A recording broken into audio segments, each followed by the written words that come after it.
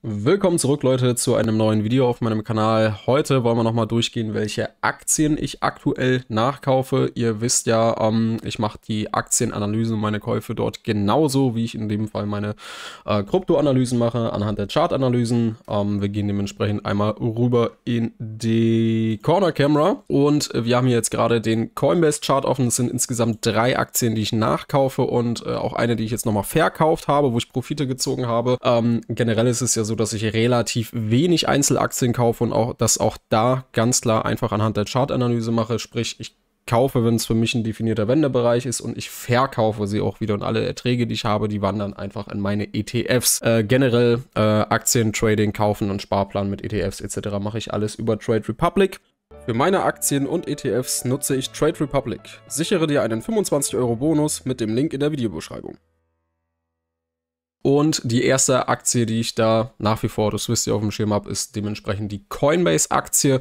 Ähm, da ist hier jetzt mein letzter Kauf gewesen. Äh, jetzt korrigiert sie gerade schön. Der definierte Bereich in Blau ist äh, dementsprechend einfach nur die Korrektur der letzten Aufwärtsbewegung. Die galt es mal mindestens anzulaufen. Wahrscheinlich ist es aber jetzt auch so, äh, dass die Gesamtbewegung nochmal korrigiert wird. Ne? Also die komplette Bewegung von hier, das wäre in dem entsprechende grüne Bereich. Das heißt, auch die Coinbase-Aktie hat definitiv noch Potenzial nach unten, richtet sich natürlich auch so ein bisschen nach dem Bitcoin und generell den Krypto-Market Cap. Und da scheint es ja gerade so, dass wir dann doch eine stärkere Korrektur sehen aufgrund der starken Abverkäufe von Grayscale etc. Ähm, und ja, danach richtet sich logischerweise auch die Aktie. Wenn Bitcoin komplett im Keller äh, rutscht, ähm, ja, dann geht es logischerweise einem Kryptounternehmen dementsprechend auch nicht so super in dem Sinne. Das heißt natürlich nicht, dass sie schlecht wirtschaften. Thema Wirtschaft ähm, haben wir aber natürlich bei der Coinbase-Aktie dann auch doppeltes Risiko. Ne? Wir haben einmal die Kryptokurse und generell besteht die äh, Gefahr, dass das Unternehmen dann auch tatsächlich schlecht wirtschaftet. Das heißt, wir haben natürlich doppeltes Risiko, wir haben aber auch ein großes Renditepotenzial. Ne? Also das muss man natürlich sich auch mal reinziehen. Also von einer Aktie innerhalb kurz, relativ kurzer Zeit knapp 500% Rendite. Ähm, das ist natürlich schon verrückt. Das sehen wir sonst nur im Kryptospace eigentlich, wo wir noch mehr Risiko unterwegs sind. Von daher kann das auf jeden Fall auch eine gute Alternative sein, vielleicht für Leute, die, die, generell auch sagen, ja, ich möchte gar keine Kryptos kaufen, äh, ich möchte mich nicht bei der Kryptobörse anmelden, abgesehen vielleicht vom Bitcoin oder sowas. Und genau deshalb investiert man beispielsweise in die MicroStrategy-Aktie oder eben auch in die Coinbase-Aktie. Also das sind für mich die definierten Kaufbereiche und auch bei Coinbase äh, werde ich hier in dem Fall noch nachlegen. Ich kann mir schon vorstellen, dass die gesamte Bewegung jetzt mal korrigiert wird und auch der Bitcoin noch etwas stärker abverkauft wird. Sprich 109 bis äh, 83 Dollar sind in dem Fall hier meine Einstiegsbereiche für Coinbase. Also hier in dem Bereich werde ich dann nochmal nachkaufen. Gut, das war Aktien Nummer 1. Für meine Aktien und ETFs nutze ich Trade Republic. Sichere dir einen 25 Euro Bonus mit dem Link in der Videobeschreibung.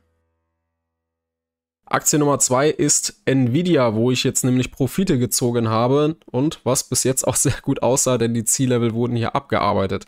Das ist schon, die Bewegung ist schon sehr, sehr groß, also ist schon eine ganze Weile her. Ähm, mein letzter Pick. Also ich habe Nvidia sowohl per Sparplan gehabt, als auch ähm, hier analysiert. Und hier habe ich nochmal Oktober 22 war das eine größere Summe reingeworfen nach Analyse. Und auch bei Nvidia haben wir dementsprechend eine richtig, richtig starke Performance hingelegt von einfach 450 Prozent, äh, 430 Prozent Spitze. Und dann ist es einfach so klar, kann natürlich äh, die Aktie problemlos auch noch auf 1000 Dollar steigen und wer weiß wie weit. Ähm, aber generell, dass der Tech-Sektor auch langsam, aber sicher mal vielleicht ein bisschen zurücksetzt und Profiten, also an Gewinnmitnahmen ist noch niemand verarmt. Sprich, ist es auch wichtig, dass man zwischenzeitlich einfach mal Profite zieht. Und generell ist natürlich auch die Nvidia-Aktie im MSCI World drin enthalten, die natürlich auch mit dafür gesorgt hat, dass wir einfach auch beim MSCI World einen sehr, sehr starken Anstieg haben, weil mittlerweile das natürlich auch ein recht großer prozentualer Anteil ist nach Apple etc. Und dementsprechend habe ich hier tatsächlich jetzt auch mal Nvidia-Aktien verkauft. Ne? Denn optimal wäre es natürlich, wenn er jetzt hier die Gesamtbewegung auch mal wieder korrigiert. Wie gesagt, selbstverständlich hat Nvidia das Potenzial, auch sich von hier jetzt nochmal zu verdoppeln und so weiter, aber die Luft wird natürlich immer dünner und es werden auch irgendwann größere Gewinnmitnahmen stattfinden. Da haben wir hier nicht anders gesehen. Es ist ganz normal, dass Bewegungen irgendwann aber sicher mal korrigiert werden. Dementsprechend Nvidia aktuell Profite gezogen. Dann gibt es noch zwei Aktien, die ich auf dem Schirm habe, wo ich jetzt nachgekauft habe und noch nachkaufen werde. Ähm, das war unter anderem die PayPal-Aktie, wo ich jetzt noch nachgelegt habe. Diese ist meiner Meinung nach aktuell stark unterbewertet aus folgendem Grund. Ähm, denn wenn wir uns natürlich auch hier die Umsatzzahlen anschauen, viele haben so gesagt, ja, von PayPal jetzt aber mal wirklich die Finger lassen. Der steht so tief wie seit 2017 äh, nicht mehr. Und ähm, ja, aber letztendlich die Erwartungen, was den Umsatz antrifft, äh, sind sogar sogar, auch wenn es relativ knapp war, aber die sind sogar noch übertroffen worden. Ne? Also das sieht natürlich dementsprechend gut aus für PayPal nach wie vor, haben die Erwartungen übertroffen und daher sind sie für mich definitiv unterbewertet. Also sie haben natürlich auch Konkurrenz äh, mit Klarna und all solchen Geschichten jetzt natürlich obendran. Ähm, aber auch PayPal hat jetzt noch einen ähm, eigenen Stablecoin mit eingeführt, Thema Krypto und Kryptozahlung zugelassen und ja, auch das wird sich, denke ich, noch auszahlen, wenn dann der Bullrun im Crypto-Space erstmal so richtig eskaliert. Und von daher sieht es auch jetzt hier gerade so danach aus, ähm, dass vielleicht langsam aber sicher auch mal hier die Trendwende eingeleitet wird, äh, also der Abwärtstrend hiermit gebrochen ist. Wir haben natürlich hier immer noch Lower Lows und Lower Highs gehabt, aber ähm, mit der Reaktion jetzt hier ist nämlich auch mein Kauf gewesen, mein letzter, dass es dann auch per, für PayPal dann wieder bergauf geht. Also hier sollte es so langsam dann mal Feierabend sein und ab dann auch wieder aufwärts gehen. Und wenn, das ist natürlich auch in dem Sinne ja, Einzelaktien sind immer äh, in dem Sinne auch ein Zock für mich. Na, ich mache das rein anhand der Chartanalyse und bewerte die rein danach.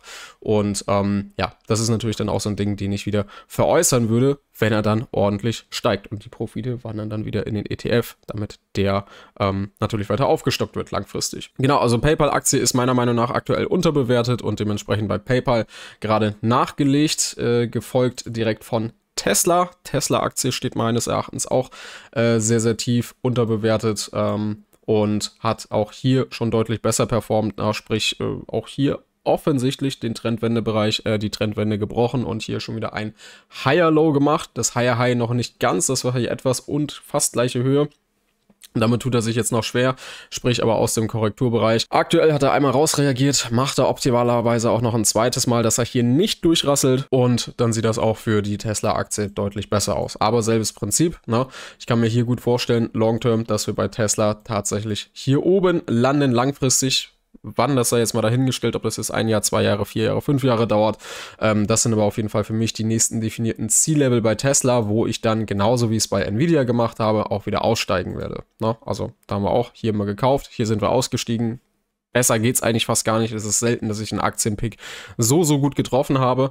Ähm, Tesla Aktie wird dementsprechend auch hier oben dann veräußert und da hätten wir tatsächlich aus unserem Bereich hier ebenfalls auch nochmal 270% Gewinn bei der Größe bei Tesla. Das ist eine absolut starke Performance und dementsprechend nehme ich die auch gerne mit. Ja, das auf jeden Fall dazu. Aktien, ETFs etc. Sparpläne mache ich wie gesagt alles über Trade Republic. Link dazu in der Videobeschreibung habt ihr gesehen oder auch im angepinnten Kommentar, wenn ich dran denke. Und dementsprechend war es das für heute. Lasst wie immer gerne ein Like und ein Abo da und wir sehen uns in der nächsten Analyse.